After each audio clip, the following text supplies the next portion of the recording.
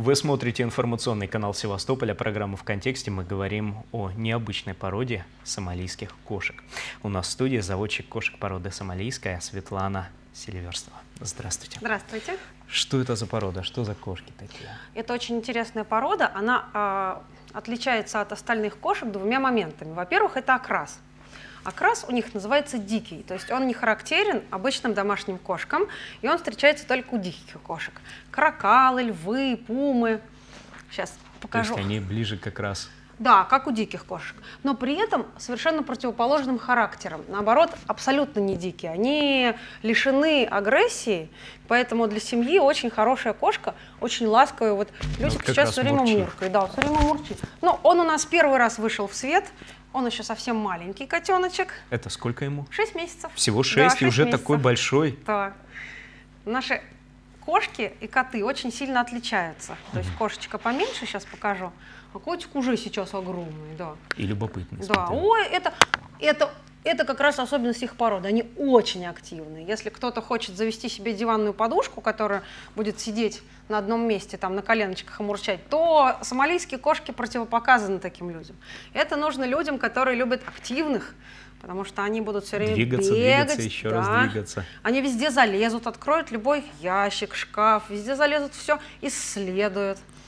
Вот. Джина у нас в последнее время любит, э, где висит белье, веревки. Э, там прыгает туда наверх и сбрасывает белье.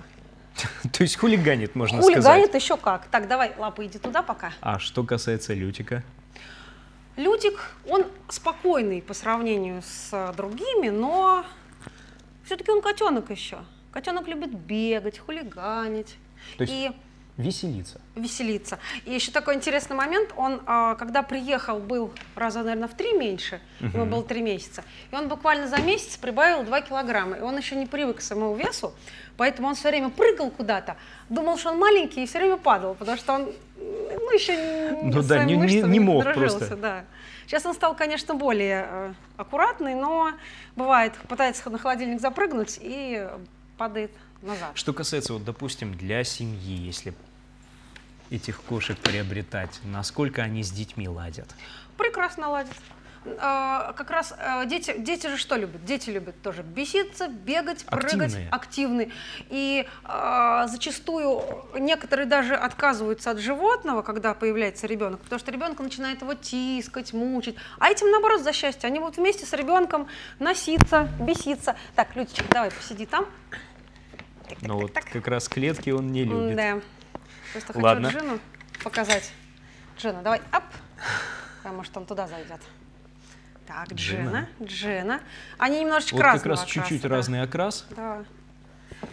У нее потемнее и практически одинакового размера. Получается вот как раз то, о чем вы говорили, что кошки и коты размерами различаются. Да, да. Кстати, что касается Джины, она, вы упомянули, что ей уже два, четыре, четыре года. Четыре года. да. У нее было три помета.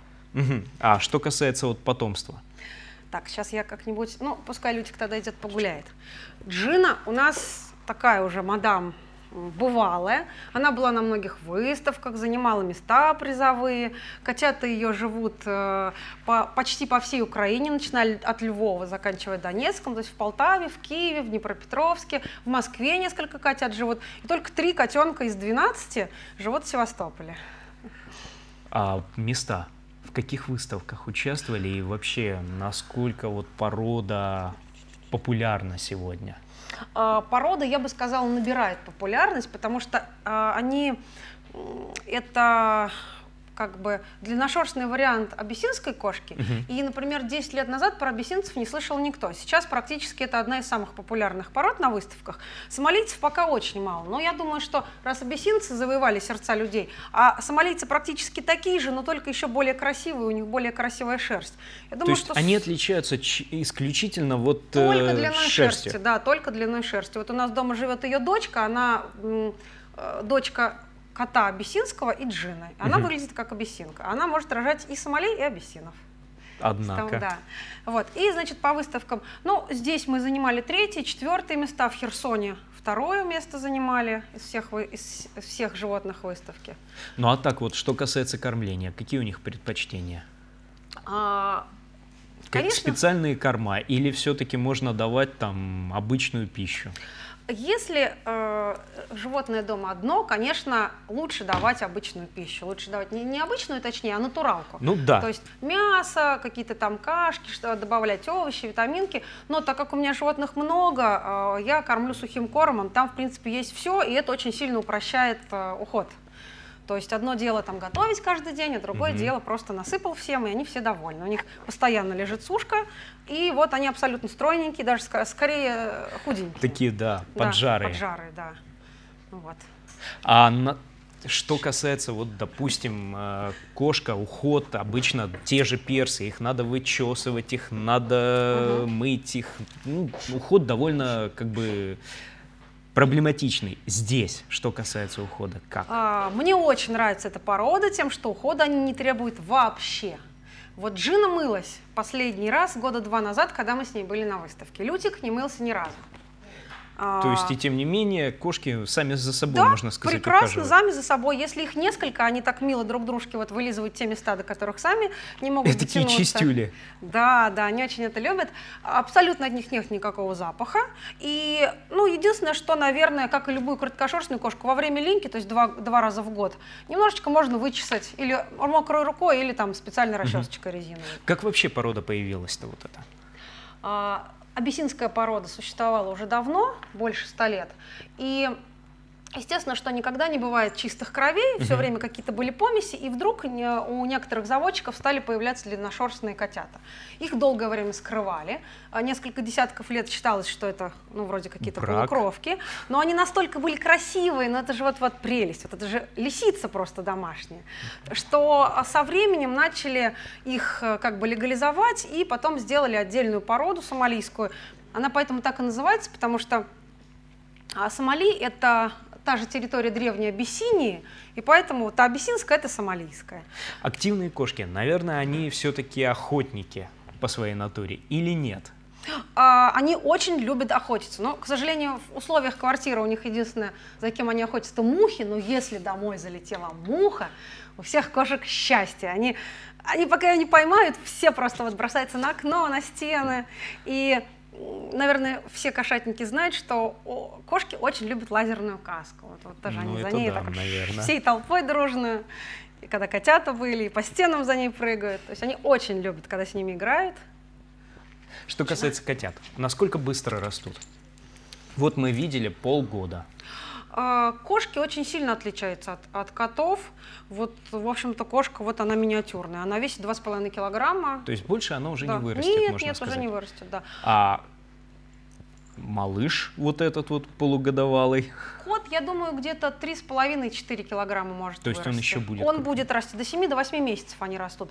То есть если кто-то хочет заводить такую породу, то нужно смотреть, что им больше по душе. Если им больше по душе нечто такое тискательное и более мурчливое, то это, конечно, нужно заводить кота. Угу. А если такой вот э, именно как компаньон, который будет везде нос сувать, везде ходить за человеком, общаться, это вот скорее кошка. То есть психотипами они тоже различаются, да. коты и кошки? Да.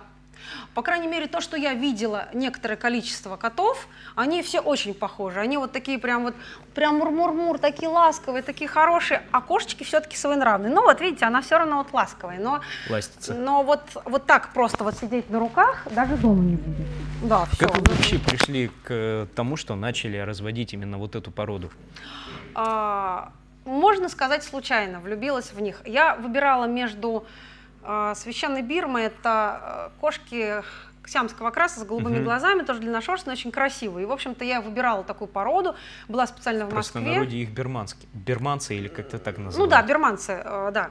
А, и специально была в Москве, пошла на выставку посмотреть на этих берманцев, и тут э, какие-то две лисицы, смотрю, обтираются, ходят в клетке. Я так заинтересовалась, думаю, что за порода?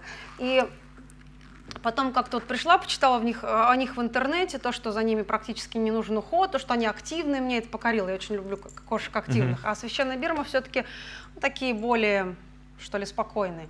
И по интернету э, пообщалась с заводчицей из Донецка Натальей, а, из очень известного питомника Самаликана, вот Джина оттуда. Mm-hmm. И буквально второй раз в жизни я увидела котенка, когда приехала его забирать. То есть вот хочу Да, и все. да. Ну, то есть я видела видео, фото, но вот живьем я трогала первый раз вот Джину и смотрела на них только на выставке вот в Москве один раз. Сколько они сейчас могут стоить? А, ну, средняя Насколько- цена ну, пэтика, то есть под стерилизацию, кастрацию, где-то 20-25 тысяч. Вот. На природе как они себя чувствуют? Вот, допустим, если не квартира, а частный дом. А, Я думаю, они прекрасно себя чувствовали. Просто вопрос в том, как бы вопрос безопасности, потому что такую кошку, если она, например, убежит к соседям, не факт, что потом ее кто-то вернет. А, То есть она может остаться. Ну, ее просто могут забрать. Затискать. Да, да, да. Если, допустим, там забор высокий и уверенность в том, что соседи адекватные, то, конечно, можно заводить. Но Ну, то есть, если хорошие отношения с Да. соседями, они вам ее банально вернут. Да, если не очень, то да, да. Просто, к сожалению, недавно случай был с другой породы, с моими знакомыми. Кот Мгм. красивый, с- э, тайский ухоженный ушел на даче, и так вот, И и, так он куда-то делся. играться, насколько они любят. Вот возраст от этого зависит, не зависит, или вне возраста обожают играть. Вне возраста. Они вот, вот она спит, я, например, беру махалочку с колокольчиком, подхожу, начинаю махать, все, она тут же бегает, прыгает. Есть какие-то любимые у них игрушки? Лазерная указка. То есть вот Вне это самое то. Да, да. Интересно, что их привлекает-то в лазерной указке? Казалось бы, ну что, ну, какой-то там световой элемент. У меня причем вот ее дочка, она уже знает там лазерную указку, она типа с брелочком, и я беру саму лазерную указку, звук, она тут же прибегает уже на этот звук, что сейчас будет точка. Они очень умные, кстати, они а, сами, вот что Лютик, что Джин, они сами научились откликаться на свое имя именно, не там кис-кис, а имя, и они Она прекрасно. кс-кс никак. Никак вообще не реагирует. Странно. Обычно кошка первое, что слышит, кс-кс, тут же бежит. А здесь... А потому что их так не приучали. А, То есть вопрос приучения. но опять же, вот любопытная сидит в Жена. клетке и выглядывает. Да, идем, выходи. Устал уже, наверное, да? Джин? Она в эту сторону смотрела, видать, что-то Так, так, так. Ну да, привлекло. А, что касается вот этих выставок, а, на самом деле, какие места занимали уже? Ну вот а- от второго до четвертого. Второе место это, однако, не так уж и просто сделать. Да, да. Очень сложно, потому что здесь а, конкуренция, например, с майнкунами. Майнкуны обычно очень хорошего качества, очень большая конкуренция. Э, Нас-то Сомалей практически раз-два и Ну, обчелся. мало, пока что. Да. Распространенность в России на данный момент, я так понимаю, только начинает набирать обороты. В Москве, в Питере достаточно много их, а в других городах вот по одному буквально. То есть там, где центр, там, где, Мгм. можно сказать, оттуда, откуда все начинается, Да, там они Да. есть. У нас А вот в Севастополе, получается, вот кроме троих котят, Ну, трое котят, они все пэтики, то есть по стерилизацию, кастрацию. Вот в разведении только вот у меня. Потом по всей Украине у нас питомник есть хороший. В Донецке был, сейчас она во Львов переехала. А потом в Днепропетровске и в Киеве все. То есть там их очень мало. Вот всего три питомника таких более-менее крупных. На сегодняшний день все-таки вот этих кошек кому бы порекомендовали? Молодой семье или людям в возрасте? Только не людям в возрасте. Ну, бывают люди в возрасте разные, но вот Мгм. просто эта кошка, она будет все время активна и, и нужно, вот как маленький ребенок, то есть она будет все время приставать, а, поиграть. Она утром, например, вот до сих пор они утром приходят там в 6-7 утра, они мурчат, обтираются, они хотят внимания. И ну, лучше, наверное, с детьми, скажем, не совсем младенчиками, а, например, вот там 3, от 3 до 10 лет вот просто идеально. Ну, спасибо большое, что нашли время, пришли к нам. Удачи вам в вашем, так сказать, деле, в разведении кошек. Вы смотрели программу «В контексте». Эфир же информационного канала Севастополя продолжается. Любите кошек и разводите их.